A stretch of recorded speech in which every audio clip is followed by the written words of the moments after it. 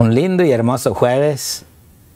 En realidad que cada historia bíblica, cuando la hacemos hacia nosotros y que nuestro corazón arde y el deseo de hacer la voluntad de Dios, podemos entender completamente lo que el Espíritu está haciendo en cada corazón.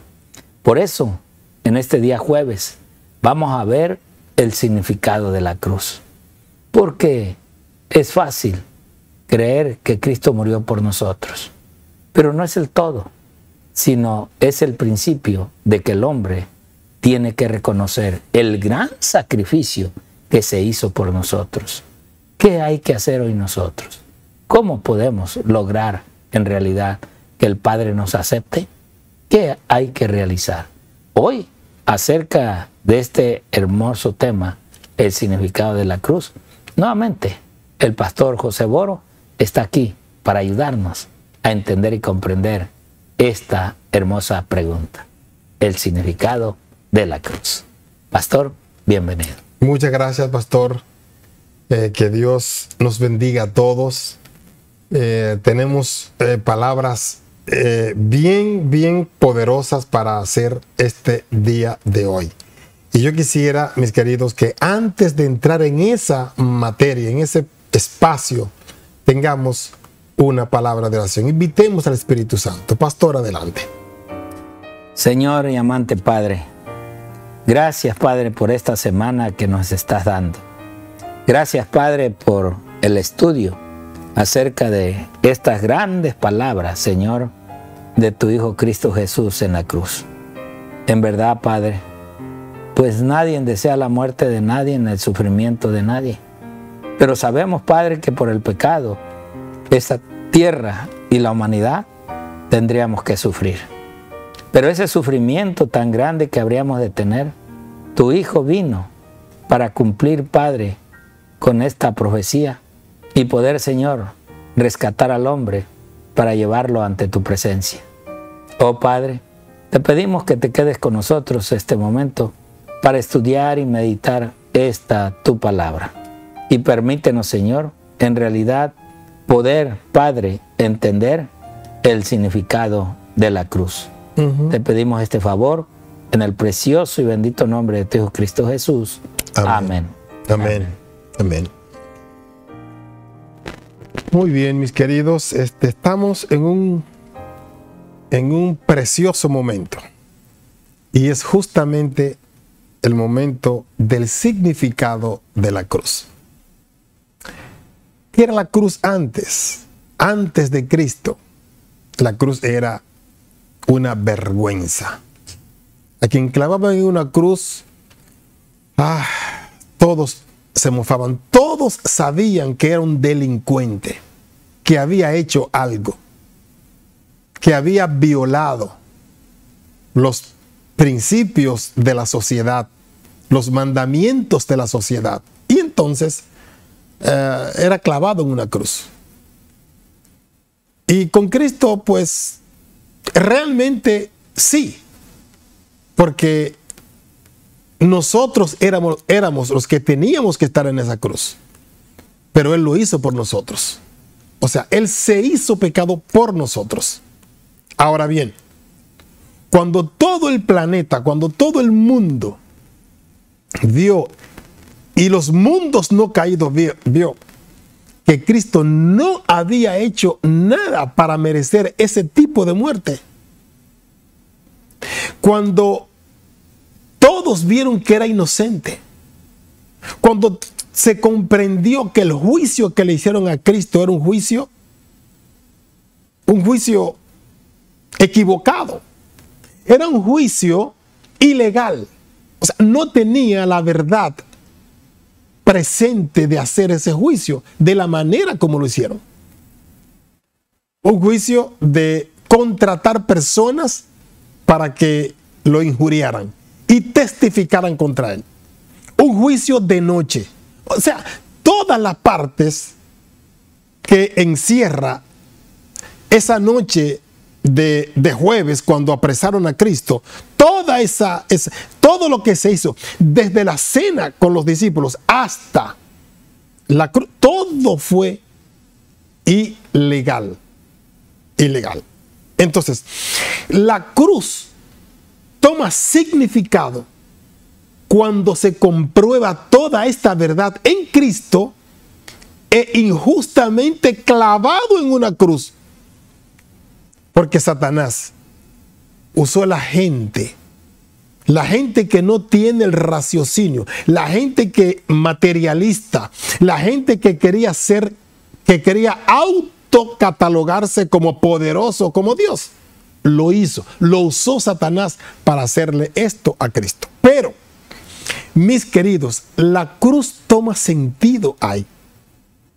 Ahora todo mundo sabe que cuando ve una cruz, sabe que Cristo, el Salvador, anda por ahí.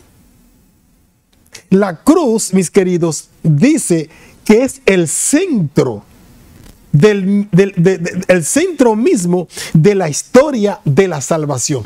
Eso es la cruz, el centro de la salvación del hombre, el derrote de Satanás es la cruz. Porque en esa cruz que estaba en el centro, Cristo con los brazos abiertos, abiertos, arropando, llamando al mundo entero a que venga a Él. Eso toma un significado extraordinario, mis queridos. Pero el mundo todavía tiene la cruz como algo ilógico y real. ¿Ven? La, ¿Por qué? Porque la eternidad no alcanza para que nosotros podamos comprender ese significado. ¿Y saben qué dice Pablo? Miren, Pablo escribió a los Corintios en el capítulo 1 y el versículo 18. Hasta Vamos a correr y corriendo texto hasta el 24. Eh, primero los Corintios 1, 18 al 24, para que ustedes vean cómo le llaman algunas personas, incluso a la cruz, a los creyentes. ¿Qué pasa con los judíos y qué pasa con los gentiles que somos nosotros hoy? ¿Eh? Primero a los Corintios, capítulo 18 y los versículos, eh, eh, capítulo 1, perdón, primero los Corintios capítulo 1, versículo 18 hasta el 24. Si es primero los Corintios, aquí nos dice así. Porque la palabra de la cruz, que es el tema que estamos estudiando hoy, es locura a los que se pierden. claro, es una locura. Porque ellos no hacen nada de lo que pasó en la cruz no deja que lo claven, solamente hay que salir corriendo o a decir ya, yo no voy a seguir en esto. Y ya, es locura para los que se pierden, pero a los que se salvan, esto es a nosotros. Es poder de Dios. Gloria a ti, oh Dios del cielo. Gloria. Pues está escrito, destruiré la sabiduría de los sabios y desecharé el entendimiento de los entendidos. ¿Dónde está el sabio? ¿Dónde está el escriba? ¿Dónde está el disputador de este siglo? No ha enloquecido Dios la sabiduría del mundo, pues ya que en la sabiduría de Dios el mundo no conoció a Dios mediante la sabiduría, agradó a Dios salvar a los creyentes por la locura de la predicación. Porque los judíos piden señales y los griegos buscan sabiduría. Pero nosotros predicamos a Cristo crucificado. Para los judíos ciertamente tropezadero y para los gentiles locura.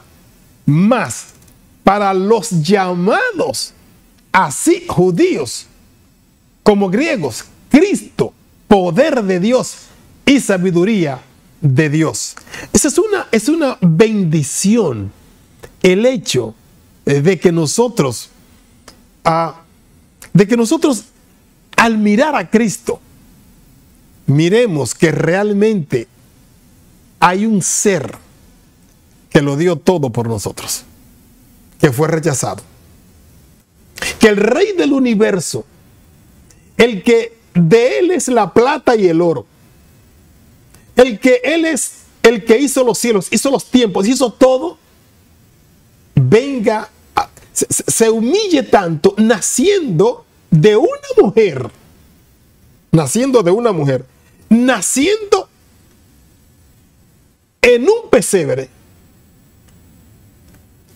que toda su trayectoria sea Nazaret, un lugar pésimo para vivir, con mucha delincuencia, que como dijo Natanael, que si podía salir algo bueno de ahí, algo bueno salió.